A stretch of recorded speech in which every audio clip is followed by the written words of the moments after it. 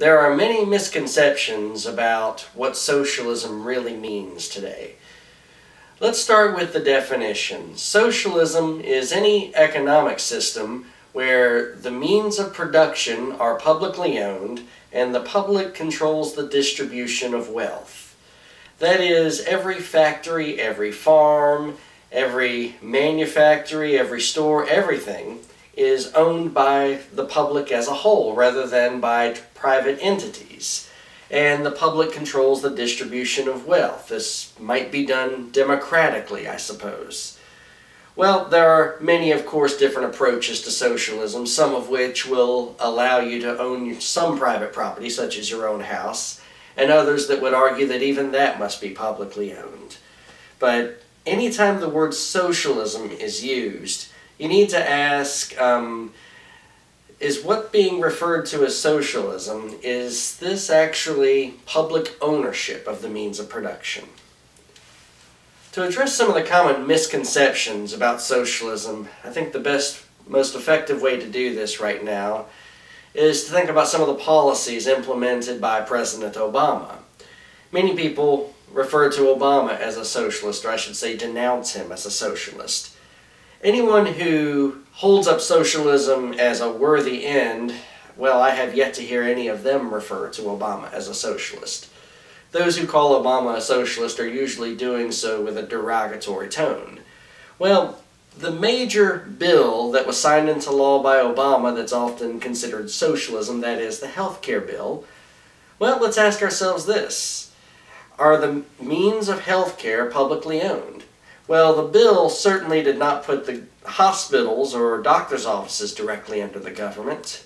But what about the insurance? Well, the insurance companies are still privately owned.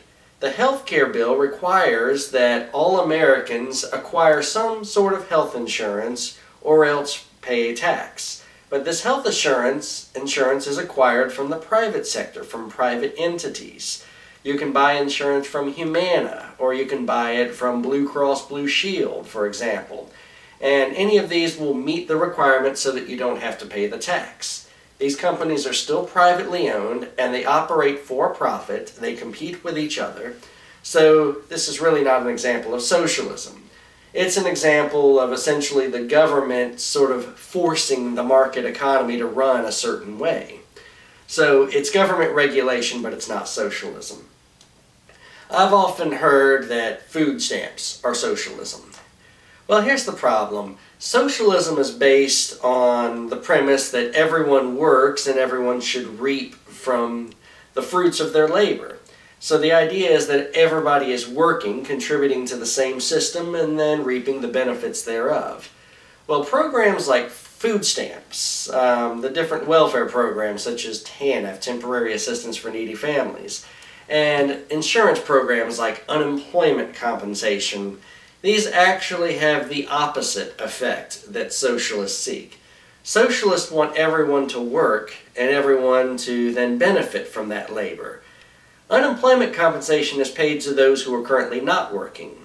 Food stamps are usually paid to those who are not working or those who maybe aren't earning enough money to take care of themselves. Now, if we required people to do government work to receive these benefits, you could say that maybe then it would be a limited form of socialism.